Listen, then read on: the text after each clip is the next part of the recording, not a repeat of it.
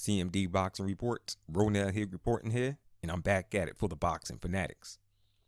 So, after almost a decade, Abel Sanchez and Gennady Golovkin part ways. Wow, man. And it was after that, you know, big signing bonus that Gennady Golovkin got with DAZN. A hundred million dollars for eight fights. All right. Now, of course, you know, he was gonna give, you know, little Abe little Abel Sanchez a raise, okay, yeah, but Abel he didn't like the deal. He didn't like the money. All right. So hey, Natty Golovkin, man, he look.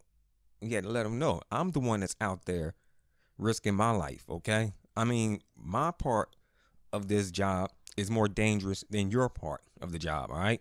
You're not the one that can, you know, end up taking a, a serious hit that can cause brain damage. You know, I am. You're not. All right. So I think this money I'm, I'm offering you is great for your position. Of course, Abel, he didn't like it. So Gennady Golovkin fired his ass. Mexican style.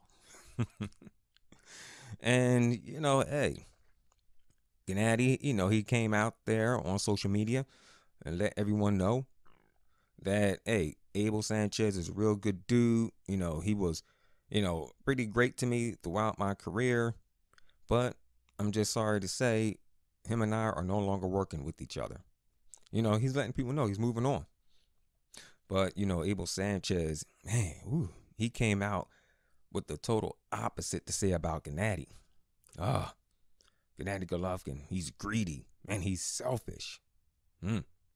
You know, when he said that, Abel Sanchez, that is, he kind of remind me of Jarrell Miller and Bob Arum. Like y'all all remembers when Big Baby Jarrell Miller was calling Anthony Joshua a steroid abuser when actually he himself is a steroid abuser.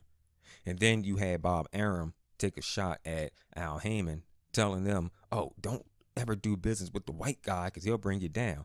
When actually Bob Arum usually say stuff like that. All right. It, has been uh, noted that he has said something in that fashion some years ago. Right.